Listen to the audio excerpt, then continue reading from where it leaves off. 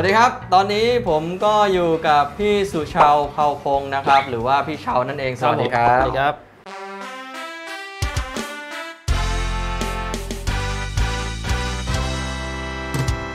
ช่วงนี้อยู่ในช่วงวิกฤตการณ์ ก็เหมือนนั่งวิวแชร์เลยแล้วก็เป็นผู้เหมือนเป็นคนป่วยเลยใช่ครับ แต่จริง ๆ ไม่ใช่เนาะอ่าเราป้องกันกันไว้ก่อน จริงๆเราแข็งแรงดีอยู่ ใช่ครับ จะได้สบายใจทั้งสองฝ่ายครับนะครับ โอเค วันนี้เรามาเนี่ย เพราะว่าพี่เชาทำหนึ่งเครื่องครับ มันเป็นอะไรที่เก่ามากครับ ถ้าคนอายุสัก 30 40 น่าจะรู้จัก 30 40 เลยนะ ใช่ แต่ผมนี่ยังไม่ค่อยรู้จักเลยเครื่องเออนี้ก็เลยไปหาข้อมูลนานหน่อย ใช่ เพราะว่าอายุยังไม่ถึงเออเคสนี้มาพร้อมกับคอนเซปต์ยุค 90 ที่มาที่ไปของคอนเซปต์ทำไมพี่ถึงเลือกเป็นยุค 90 ผมชอบสะสมพวกอืม ของแนววินเทจของเก่าของคลาสสิก อย่างเช่นเนี่ยทางบ้านเงี้ยอืม เราก็จะติดอิฐแล้วก็ ติดป้ายพวกงานเก่าอืมๆผมชอบสะสมงานเก่า ก็เลยอ่าอยากจะทำเคสสักตัวหนึ่งให้มันระลึกถึงความหลังที่เราเป็นเด็กอ่าอ่าเอาละคือเรากำลังพูดถึงในส่วนของ Family Computer เออ่าอหรือว่าเครื่องผมไม่รู้นะ ผมไม่รู้ว่ามันชื่ออะไร แต่เรียกติดปากกันว่าเครื่อง FR 202จริง ๆ แบรนด์มันเป็นแบรนด์ Nintendo อ่าอ่าอ่าอ่า Nintendo แต่เขาจะออกซีรีส์แรก ๆ มาเลย มันจะเป็นเครื่องขาวแดงเนี่ย จริงๆ ชื่อรุ่นมันไม่ใช่ชื่อรุ่น FR 202นะ แต่เราชอบที่มันเป็นรุ่นแรกอ่าที่เขาผลิตมาเป็นเกม 8 บิตเอออ่าต่อกับจอเสียบสายแบบ 3 เส้นเออสาย A AV AV สายเสียงอีก2เอออ่าแล้วก็เล่นได้เลยนี่ฮะ อันนี้คือ Family Computer ก็คือเป็นเครื่องเกม Family ใช่ที่ครับเขาเรียกกันเมื่อก่อน เอาง่ายๆ ผมว่าเด็กรุ่นใหม่ที่น่าอายุเท่าไหร่เดีย สิบไปสิบกว่าๆเนี่ยไม่มีทางรู้จักแน่นอน ใช่ยี่สิบรู้จักไหม20ไม่น่า20 ก็ไม่น่าจะรู้จักเออนั้นปี 2000แล้วสักประมาณ 30ถึง40 อ๋อ เพราะฉะนั้นที่เรารู้จักเนี่ยรู้อายุกันแล้วโอ้โหพ้นจากเน็ตทั้งนั้นเนี่ยเนี่ยอ๋อ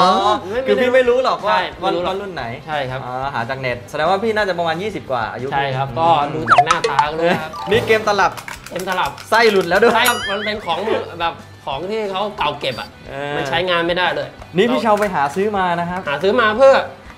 อย่างหนึ่งเราอยากรู้เฉดสีอืมอ่าอย่างที่สองเราอยากรู้ว่า อุปกรณ์อย่างจอยอย่างอะไรเงี้ยถ้าเราไม่ซื้อมาเนี่ยเราจะไม่รู้เลยว่า ในส่วนต่างๆ พวกเฉดสี พวกฟอนต์พวกอ่าเขาเรียกว่าความสูงหรือระดับต่างๆ มันเป็นยังไง เราก็เลยต้องซื้อมาสักเครื่อง คือดูในรูปมันไม่รู้สึกเท่าใช่ครับ เอออันนี้เก่าจริงร้อยเดียวครับพี่เชาร้อยเดียวซื้อมาครับไอฟอนต์เนี่ยพี่หามาจากไหนหรือว่าแกะแบบเอา ใช้พดไว้ทำไมครับ นี่อันนี้สายแกะโลโก้เลยนะเออใช่สายแกะฟอนต์เลยนะสายดัดแบบเลย พวกเนี้ยเป็นทำไฟล์สติกเกอร์มาอ่าแต่ไม่ใช่ว่าเอาอะคริลิกมาแปะนะ เป็นอ่าไฟล์สติกเกอร์แล้วเราก็มามันเอาลอกเอาเอาสติกเกอร์แปะแล้วก็พ่นอ๋อซึ่งบอกเลยว่าทำยากมาก เราต้องพ่นหนาพอสมควรให้มันได้ความเงาเฉดเนี้ยจริง ๆ มันเป็นเฉดแดงเลือดนกพ่นพ่นครั้งเดียวมันจะเป็นสีแดงแบบแดงธรรมดาเลยแดงแจ๊ดๆเลย ต้องพ่นถึง 5-6 รอบอะถึงจะได้เฉดนี้ห้าหกรอบ ใช่ครับ คือหมายถึงว่าพ่นมันก็จะเข้มเรื่อยๆเหรอ ต้องเข้มเรื่อยๆ ตรงโลโก้มันมีความเงา โลเพโก้ราะฉะนั้นไหเนี่ยอ๋อตรงตรงเนี้ยอ่าเพราะฉะนั้นเราก็ต้องทำให้เฉดเนี่ยมันเงาไปด้วย ซึ่งต้องพ่นเขาเรียกว่าไอตัวเคลือบตัว clear clear เงาอะอืม ให้ให้ให้มันเงาพอๆกับอันเนี้ยอืม ซึ่งรวมแล้วเกือบ 10 รอบนะ พ่นเฉพาะสีอันนี้ ใช่ครับ แต่ว่าที่เห็นสีทองคือเป็นสติกเกอร์ อันนี้ก็พ่นอะพ่นเอาพ่นหมดเลยคือที่เห็นนี่ไม่ใช่สติกเกอร์เนี่ยแหละความยากของมันคือตรงเนี้ยเพราะว่าถ้าพ่นอะเวลาเราลอกสติกเกอร์ออกมา ตัวสติกเกอร์มันจะดึงสีออกมาด้วย ซึ่งเราต้องเอาคัตเตอร์กรีดขอบเขตของสติกเกอร์อีกทีอีกอ่าแล้วค่อยพ่นเคลือบเงาอีก2อสามชั้นคือดูอย่างนี้เนียนมาก ถ้าดูใกล้ๆนี่หยึกยักหยึกยักเลย โอ้ยเส้นไม่เส้นนี่แบบ แปดบิตของแท้เลย เอ้ยคือตอนแรกที่ผมเห็นเนี่ยคิดว่าสติกเกอร์นะ ไม่ใช่ครับทำไมไม่ใช้สติกเกอร์เอางี้ดีกว่า โอ้โหระดับสุดเชาจะไปใช้สติ๊กเกอร์กะโหลกกะลาได้ไง มันแพงไงพอเส้นอยากให้มันไม่นูนสูงขึ้นมาเยอะ อยากให้ได้มันเป็นเนื้อเดียวกันพอลูบเนี่ยอะคุณกี้ลองลูบรู้สึกเลยรู้สึกว่าโอ้โหมันนูนมากเลยเนี่ยไม่ว่าเนี่ยรู้สึกว่ามันเรียบไปเลยเออมันมันจะเรียบไม่ได้เป็นรอยสติกเกอร์นะใช่ครับใช่ออมันเป็นเทคนิคอย่างหนึ่งซึ่ง modder ระดับโลกเท่านั้นที่รู้อืมใช่ครับเนี่ยเราคุยกับพี่ชาวก็จะเป็นอย่างนี้ครับ หลายๆ คนดูเทปไม่ต้องตกใจครับเอ้ยไอ้คนนี้ขี้โม้เอจังอเลมัยนขี้โม้จริงเปล่า บอกเลยว่าจริงจริงเราจะเห็นด้านข้างก็จะมีในส่วนของจอย อะใช่ครับ อันนี้มันเป็นเขาเรียกว่า กิมมิคเล็ก ๆ น้อยๆให้มันดูจริง ๆ จอยมันไม่ได้วางตามแนวของเครื่อง อ่า จอยมันวางตามฝาของเครื่องเพราะเราจะอยากจะได้ ความสมมาตรของสัดส่วน อ่ถ้าวางแนวนอนมันก็จะปิดแบบไม่สวยไง อืมปิดโซนด้านหลังที่ฝาโซนด้านหลัง อ๋อให้เป็นล้อเลื่อนนะครับ โอ้โห อืมสุดยอด บอกแล้วทำธรรมดาได้ไงอะ นี่ตัวตัวตัวเนี้ยเราทำให้เปรียบเสมือนจอย คุณกี้ลองดูเด็กดได้ไหมกดได้แต่ไม่จมนะนี่จอยค้างเนี่ยเมื่อก่อนจอยแหมทำจมได้ก็บ้าแล้ว ใช่จะติดไปกับบานนี้เลย ใช่ อันนี้ก็เป็นสติกเกอร์ อันนี้ยอมรับเลยเป็นสติกเกอร์ เพราะว่า ทำที่หลัง ดูความนูนความโค้งของตัวปุ่มอืมนี่จอยค้างครับต้องเปลี่ยน มันกดไม่ลงนะจอยแข็ง ผมเชื่อว่าถ้าไปโชว์นะ อย่างแรกเลยที่คนจะทำอืมเอานี้วไปกดเฮ้ยเฮ้ยจมเมื่อวานเนี่ยแหละ คือสำเร็จแล้วกินไอติมอะกินไปซื้อไอติมเพื่อนติดไอติมมาพอดี ไม่รู้ทำไมพอมาถ่ายบ้านพี่เชาวเนี่ย ต้องเป็นเวลาที่ไอติมมาเดี๋ยวดูเดี๋ยวจะมีกุ้ยช่ายมาทั้งวันลูกเต้าไม่ต้องนอนกันหรอกอันนี้ให้อินดี้เลเซอร์ตัดแน่เลยแผ่นอะคริลิกให้อินดี้เลเซอร์ตัดอ๋อแล้วส่วนพวกปุ่มพวกอะไรเราทำจัดการเองนี่ทำจากอะไรอะเครื่องปริ้นสาม D เฮ้ยพี่มีเครื่องปริ้นแล้วเหรอแหมคนอื่นก็มีเราก็พอพอมีบ้างแหละอ๋อตอนนี้พี่เชาวมีเครื่องปริ้น3D แล้วเพิ่งรู้ก็มีเครื่องเล็กๆขนาดประมาณ5คูณ5เซนต์โอ้ยเล็กไปเล็กไปว่ะ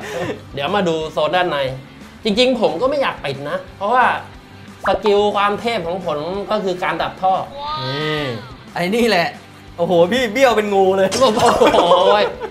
ล้อเล่นล้อเล่น คือไอการดัดท่อแบบเนี้ยหลายครับคนแบบว่าเออก็ดัดแค่โค้งนี้เอง แต่อืมความยากมันคือทำให้มันตรง balance กัน ใช่ครับ คือถ้าสมมติภาพจับมาอย่างเงี้ยตรงๆเนี่ยอ่าคือมันจะต้องขนาน ใช่ครับเออทั้งโลกก็มีคนเดียวผมบอกเลยอืมที่ทำไม่ได้ ผมเองท่อ เชื่อมต่อธรรมดาเราก็ทำได้มันอ่าแต่มันก็จะดูธรรมดาไปอืมอืมมันไม่มีจุดขายไงอืมแต่เนี่ยเราอยากทำให้มันจบไปเลยว่า ใครจะว่าดัดท่อไม่เต็มเคสลองมาดูเครื่องนี้ครับอืมเรียกว่าดัดท่อเต็มเคสของจริง ไอลักษณะอย่างเงี้ยจริงๆมันเรียกว่าการเจาะ fill port ใช่ครับเจาะฟิลใช่พไหอมร์ตตอนแรกก็จะเอาแผ่นอะคริลิกปิดนะ ถ้าถ้าเกิดมันไม่เนียน แต่ด้วยฝีมืออ่าแล้วก็ด้วยระเดดับชนี้บุญแล้วของ อ่าสิทธิ์หลวงปู่ปาน เออหลวงปู่ปานไหนอะพี่วัดบางบ่ออ๋อโอเคเจาะตรงหมดเลยทุกเส้นก็ก็เลยไม่ต้องไม่ไม่ไม่ใช้อะคริลิกมาปิดดีกว่า ผ่านการออกแบบทางน้ำประมาณเกือบ 2 อาทิตย์ ออกแบบอย่างเดียว ใช่ออกแบบทางน้ำว่าแบบไหนน่าจะทำให้ดูสวยดูเต็ม มีสองรูปรูปเดียวครับ รูปเดียวเหรอ ใช่แสดงว่าแท้งก็มีชุดเดียว ชุดเดียวนี่ไงก็คือตัวชุดนี้ใหม่ล่าสุดของเทอร์มเทคเลยอ๋อ Pacific DP 100 D 5 plus แล้ว แม่จำชื่อได้ใช่ไหมไม่ใช่อ่านเอาไว้อ๋อว่าแล้วจ้องจังเลย ก็เป็นเป็นแท้งรูปแบบใหม่แล้วกันอืมที่มันเป็นแท้งเหลี่ยม แล้วก็ติดตั้งด้วยปั๊ม D5 อ่าซึ่งปรับรอบได้อืมจุดที่ระบายความร้อนแล้วกัน ก็คือหม้อน้ำอืมไม่ใช่มีแค่จุดเดียวตรงนี้นะอ่ามันยังมีด้านบนหม้อน้ำหนึ่งตอนอีกตัวหนึ่งอ๋อแล้วก็ประกอบด้วยหม้อน้ำโอ้โหสองตอนอีกหนึ่งข้างหลังอีกหนึ่งแต่อันนี้คือหนาสุดนี่สามหสุตดอน อันนี้อันนี้3ตอนแบบหนาประมาณ 6 เซนอ่า ส่วนด้านหลังหนาประมาณ 3 เซนข้างบนหนาประมาณ 2 เซนครึ่งซึ่งก็คือทุกส่วนผ่านหมดพันหมดเลย น้ำทุกจุดผ่านหม้อน้ำหมด ไม่ได้เป็นท่อหลอกแท้งหลอกนะครับ คุณหวาย นี่ว่าจะไม่พูดชื่อ คุณหวายมาเต็มครับเคสที่เราใช้ตัวนี้เป็นอืมเลเวล20 HT ของทาง t h e r m o t e c HT มันคือร่าง 2 ของตัว The Tower 900 เรามาดูที่ด้านหน้าเคสที่ครับเป็นให้เป็นไฮไลท์หลักแหละเพราะอ่าว่าเวลาคนเดินมาต้องเห็นตรงนี้ก่อนใช่ครับสิ่งแรกที่อยากถามเลยพี่มีเหตุผลไหมที่ทำลายเส้นอย่างนี้ หรือเพราะว่ามันต้องเป็นอย่างนี้ ตอนแรกไม่ได้ทำ concept นี้ด้วย คือทำไงก็ได้อยากจะดัดท่อให้มันไม่เหมือนชาวบ้านเขาอยากทำยังไงก็ได้ให้มันดูอลังการเหมือนชาวบ้านเขาดัดท่อให้เต็มเคสตอนนั้นเองเอาจริงๆผมมีสต็อกที่ต่างประเทศส่งมาพวกอ่าท่อ 12 กล่องหนึงมี 4 เส้น ก็ประมาณ 5 กล่อง 5 4 20ประมาณ 20 เส้นอ่า20เส้นเส้นละเมตร ผมมาใช้เครื่องนี้หมดเลย 20 เส้น ใช่ ขนาด 12 มิล แล้วบอกเลยว่าเสียไปแค่เส้นเดียว เราใช้เส้นหนึ่งอะประมาณหลักๆ เลยอะดัดเส้นหนึ่งใช้ประมาณ 70-80 เซนและเหลืออีกประมาณ 30-20 เซนมันใช้ต่อไม่ได้ไง เออเพราะมันไม่ถึง มันช่วงยาวอ่เราก็เลยต้องใช้ทุกเส้นทุกเส้น พอนับไปนับมาหมดเลย สรุปเครื่องนี้ใช้เวลาทั้งหมดตั้งแต่ออกแบบเลยทำมั่งไม่ทำมั่งก็ประมาณเดือนหนึง ก็เดือนเอ้ยก็ถือว่าเร็ว มันเป็น tower เออถ้าเป็น scratch เนี่ยจะไม่ว่าเลยแต่มันเป็น tower หลายๆ คนเพิ่งดูอาจจะงงอะไร tower tower ใช่ ก็คือทำจากเคสเดิมใช่ ๆ ถ้าscratch build เนี่ยเริ่มจากศูนย์ทำใหม่หมดเลย block RAM ก็มีนะครับ ใช่ ของจริงไหมของจริง มีน้ำเข้า มันเป็นเซตของเทอร์ t เทคใช่ครับ หลักๆเลยที่ระบบระบายความร้อนด้วยน้ำเข้าไปก็คือ block RAM กับ CPU 2 อย่างนี้ ส่วนการ์ดจออะช่วงนั้นที่ขอซัพพอร์ตมันยังไม่มีบล็อก TT ยังไม่มีของ AMD อ่าอ่าซึ่งมามีตอนผมทำใกล้เสร็จแล้วอ่าก็เลยไม่ได้ใช้บล็อก เปลี่ยนไม่ทันแล้ว ใช่ครับ ก็เลยผมคิดว่าไอตัวเนี้ยเป็น TUF 5007 XT อ่าเราก็เลยเปลี่ยน cover ข้างนอกมันจากสีดำให้เป็นสีขาวตัดแดงให้มันเป็นสไตล์ของตัวไอ Family Computer แหละคือเอามาทำสีใหม่อย่างเดียว ใช่ครับ ไม่ไม่ได้ว่าขึ้นรูปมาใหม่ ไม่ใช่ไม่ใช่ ตลับนั้นถอดออกได้ไหมโอ้โห ได้เลยครับ เฮ้ย นี่ก็เป็น 3D Print เหมือนกัน ใช่ครับ นี่ฮะเราให้ดูครับ แล้วหลายคนครับ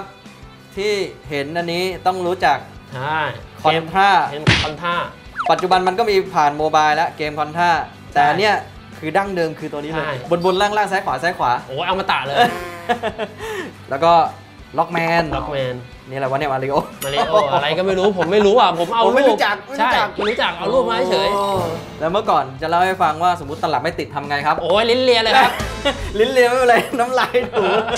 โอ้โหรู้สึกแบบว่า ใช่ใช่เนี่ยขมันนาดมันว่า ทำให้เราระลึกถึงความหลังว่าเฮ้ยแต่ก่อนเราเล่นเกมเนี่ยเรามี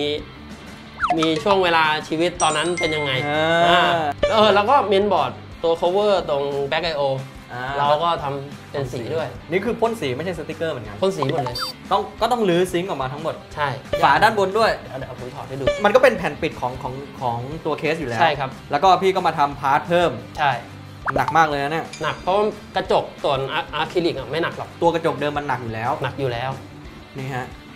ก็ดีไซน์มาเหมือนเลยไหมเหมือนเลยก็เทียบอัตราส่วนเลย เป๊ะๆเลยเป๊ะๆเลย อย่างปุ่มอะไรนี่ก็พวกสลางสไลด์แต่มันสไลด์ไม่ได้นะ อันนี้ก็เป็น3D ถ้าสไลด์หนักนี่ใบแดงเลยฟาวโอ้โหใบแดงเลย ไม่ใช่บอลแล้วนี่ต้องทำให้เลอะเหมือนกันด้วย โอ้ยเลอะเด้ถ้าไม่เลอะนี่ไม่ได้เลย แล้วดูเฉดสี อยากจะให้ดูเฉดสี เหลืองเหลืองแบบ ตอนแรก ผมตัดสินใจว่าจะพ่นแบบสีเดียวไปเลย อ่า สีขาวแต่ไม่ได้โดยเดชะบุญบอกเลย เมียอีกแล้ว ขัดว่า เอ้ย ถ้าทำงี้มันก็ธรรมดาไปเลยต้องเก็บแอร์บัตด้วยสีเหลือง อ่า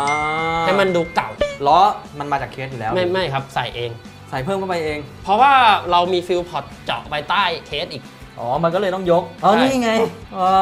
ใช้ fill port 20 ตัว ทั้งเครื่องเลย 20 ตัวอ่า fitting 50 ตัว เพราะว่าถ้าสังเกตนะ ทุกจุดมันจะทะลุออกไป ใช่หมดเลยเนี่ยหมดเลย พอโผล่มาด้านล่างเคสก็ทะลุไป